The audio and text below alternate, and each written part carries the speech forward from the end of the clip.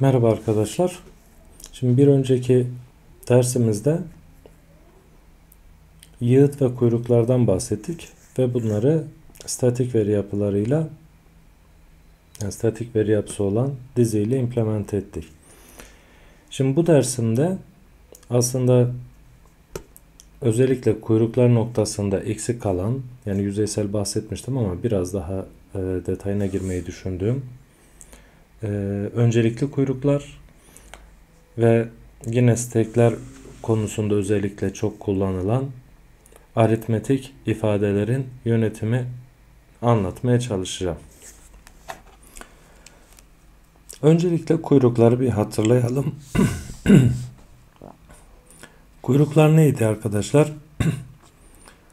İlk girenin yani şöyle basit gene statik bir dizi üzerinde işlediğimizi düşünürsek ilk elemanı ben buraya ekledim. Bu birinci eleman. Bu ikinci eleman, bu üçüncü eleman, bu dördüncü eleman bu şekilde devam ediyor. Yani eklemeler kuyruğun sonuna yapılıyor. işlemler kuyruğun başından yapılıyor. Yani first in, first out prensibiyle çalışıyor demiştik.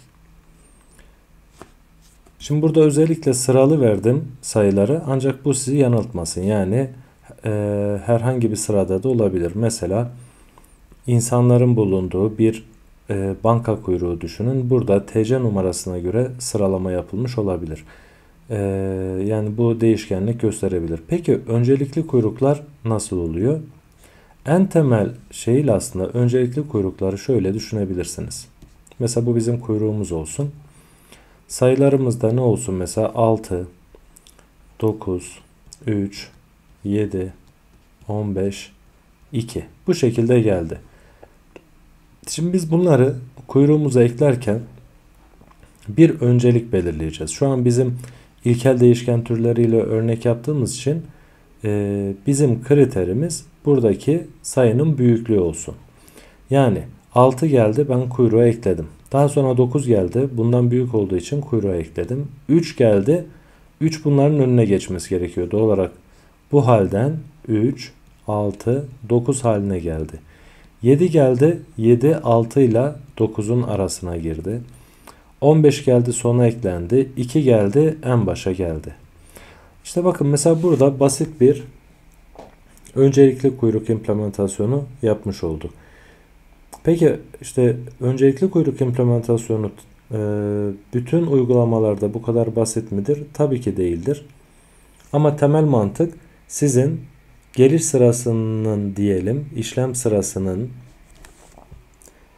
geliş zamanına göre değil de bir başka kriteri de hesaba katarak yaptığınız kuyruklar diye özetleyebiliriz.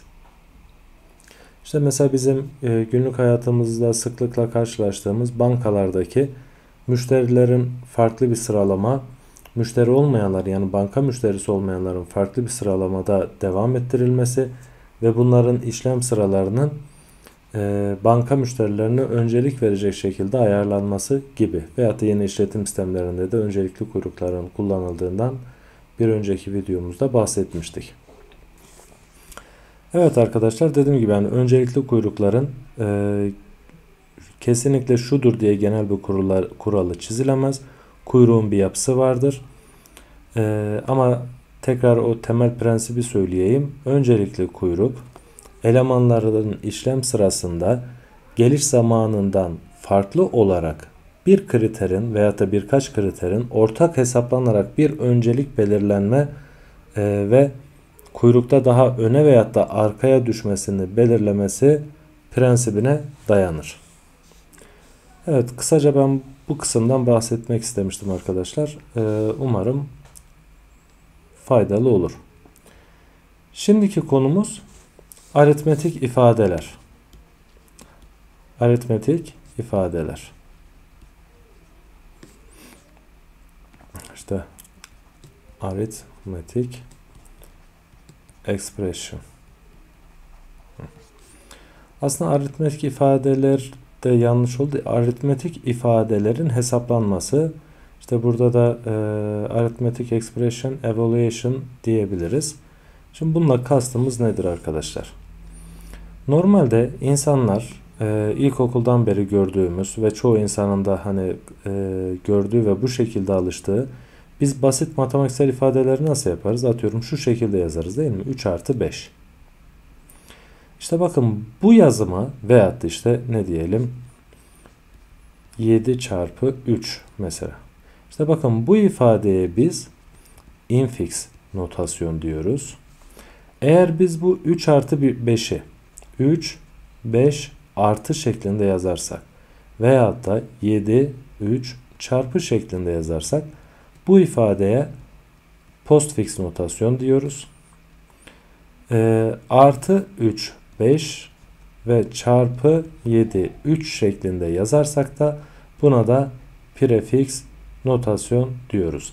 Aslında şuradaki anahtar kelimelerden aklınızda çok rahat tutabilirsiniz. In hani içinde demek doğal olarak operatörün içinde olduğu ifadeler. Post sonrası demek doğal olarak operatörün sayılardan yani operantlardan sonra geldiği ifadeler. Pire dediği de operatörlerin operantlardan önce geldiği ifadelerdir. Şimdi bu bizim işimize neden yarıyor ona bakalım. Bildiğiniz üzere matematiksel ifadelerde işlem önceliği denilen bir kavram var. Yani mesela 3 artı 5 çarpı 2 ifadesini. Bunun sonucu nedir? Hepinizin bildiği gibi 5 ile 2'yi öncelikle çarpacağız. 3'ü toplayacağız. Doğal olarak biz buna 13 diyeceğiz. Ama ters işlem yapmış olsaydık sonuç ne olacaktı? 16 olacaktı. Şöyle yazalım ki karışmasın. Hani bu buna eşit değildir. Neden? Çarpmanın toplamaya göre üstünlüğü vardır. Yani çarpma eşittir bölme. Bunlar da büyüktür. Toplama eşittir çıkarma diyelim. Bu şekilde bir işlem önceliğimiz var hepinizin bildiği gibi. Şimdi karmaşık ifadelerde ne diyelim mesela a artı b hatta şuraya bir şöyle yapsak daha güzel olacak. A artı b bölü c eksi d. Mesela bakın böyle bir ifadeyi biz bilgisayara normal bizim yaptığımız yöntemle yapacak olsak bilgisayar zorlanacak. Neden? Öncelikle parantez var mı diye bir parse edeceğiz. Daha sonra parantezleri bulduktan sonra en içteki parantezi bulacağız. En içteki parantezin kapa parantezini bulacağız ve ilk yapacağımız işlem bu. Daha sonra aynı seviyede olan parantez içerisinde olmayan ama aynı seviyede olan işlemlerde şurada bahsettiğimiz işlem önceliğini gözeterek işlem yapacağız ve sonucu bulacağız. Buradaki işlem nasıl yapılır arkadaşlar? Öncelikle C'den D'yi çıkaracağız. Sonra bu sonucu B'ye böleceğiz. Sonra bunların sonucunu da A ile toplayacağız. İşte bu ifadelerin e, bilgisayarda yapılmasını daha basit hale getirmek için postfix notasyona dönüştürebiliriz. Postfix notasyona dönüştürdüğümüz zaman öncelikle nasıl daha kolay işlem yapacağımızı görelim. Ee, hani en, öncelikle neden postfix notasyona çevirdiğimizi anlayalım, kavrayalım. Daha sonra postfix notasyona nasıl çevirdiğimize bakalım. Şimdi şu ifadeyi düşünün arkadaşlar. Bakın. 3, 5 ve artı. Şimdi biz ne yapıyorduk? Bizim gördüğümüz kafamız şu şekilde çalışıyor. 3 artı diyoruz. Ha diyoruz ki 3 ile bir sayıyı toplayacağız. Toplayacağımız sayı neymiş? 5. Tamam 3 artı 5 eşittir 8 deyip ee, bitiriyoruz. Peki burada nasıl işlem yapabiliriz? Bakın. Şimdi 3 geldi. 3 bir sayıdır değil mi? Bakın 3 bir sayıdır. O zaman ben bunu siteye ekliyorum. Bakın bu bir stack. Tamam. Sonra 5 geldi. 5 de bir sayıdır. O zaman ben bunu da siteye ekliyorum. Daha sonra operatör geldi. Bakın daha sonra operatör geldi. Operatör geldiği zaman ben stack'ten iki kere pop edeceğim. Bakın iki kere pop edeceğim. Hatırlarsanız yığıtlardaki pop metodu ne yapıyordu? Çıkarttığı nesneyi return ediyordu. Yani elimde benim şu an 5 ve 3 olmuş oldu. İşte bu iki tane pop'tan bana gelen buna operatör operant 1 diyelim. Buna da operant 2 diyelim.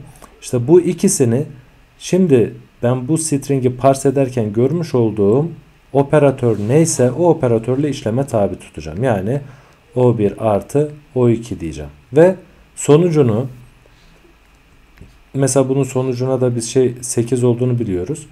Hani 5 artı 3 işlemini yapacak. Sonucu tekrar siteye atacak. Sonuç olarak stekte en son işlem bittiği zaman tek bir nesne kalıyor olması lazım ve o nesnede benim sonuç e, işlem sonucum olması gerekiyor. Biraz daha karışık bir ifade yapalım. Mesela nasıl diyelim arkadaşlar? Ee, 7 artı bir parantez açalım. 8 eksi bir parantez daha açalım. 16 bölü 4 diyelim. Sonra çarpı 2 diyelim. Ve parantezimizi kapatalım. Şimdi bu işlemi matematiksel olarak postfix'e nasıl dönüştüreceğimizi daha sonra göstereceğim. Ama şimdilik ben postfix'e öncelikle dönüştüreyim arkadaşlar. Ee, kafadan dönüştüreceğim. İnşallah hata yapmam diye düşünüyorum. Şimdi bir kere 16 ve 4. Hatta bunları aralarında virgülle mi yazsak? Hani farklı 164 ya da 164 zannetmeyelim diye araya bir nokta koydum arkadaşlar. Bunlar bölme işlemine tabi tutulacak. Bunlar bölme işlemine tabi tutulduktan sonra şuraya bir nokta daha koyuyorum farklı sayı olduğu için. Bunlar 2 ile çarpılacak. Daha sonra bunlar 8'den çıkarılacak. En sonda 7 ile toplanacak. Şu ifadeden çok emin değilim. Ama fark etmez. Şöyle bir postfix notasyonu nasıl hesapladığımıza bakalım. Şimdi gelelim bakın. Bir tane siteğim var dedik. Zaten ikinci bir siteye ihtiyacım yok.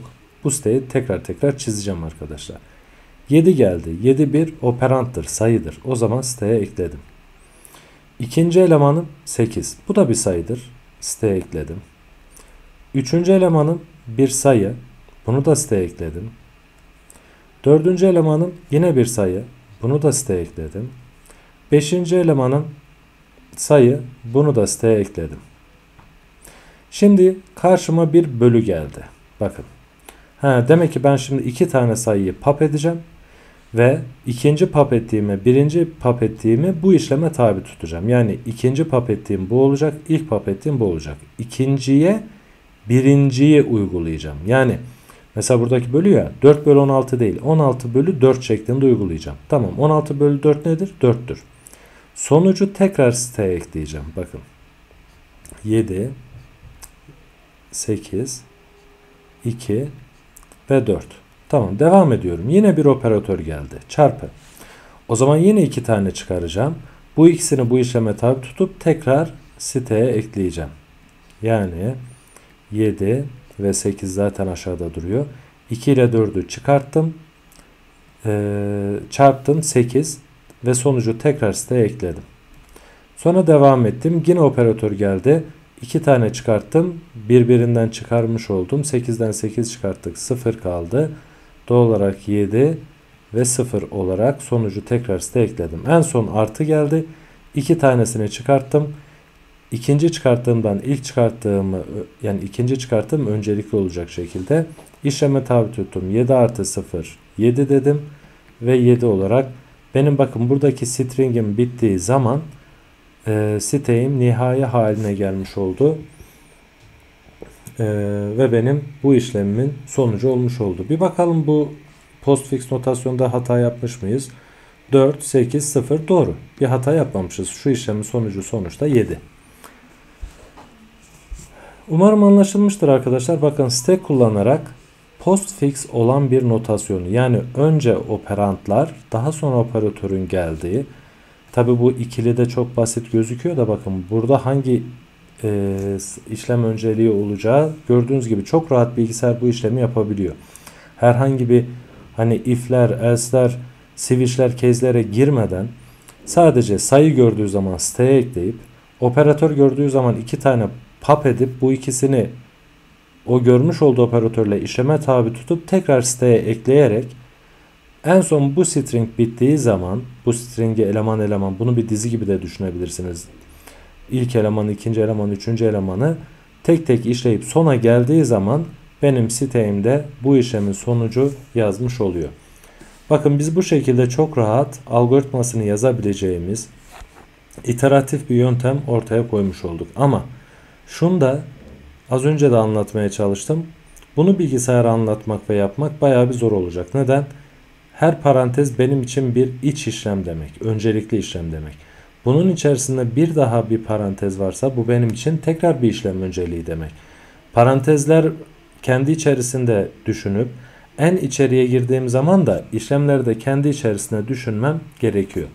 Bunu e, hani farklı yöntemlerle deneyebilirsiniz ve denediğiniz zaman yani şu işlemi yaptırmanın ne kadar zor olacağını bilgisayara denediğiniz zaman e, umarım şu aşağıdaki ifadenin bize sağladığı avantajın, yöntemin diyelim avantajın farkına daha iyi varırsınız.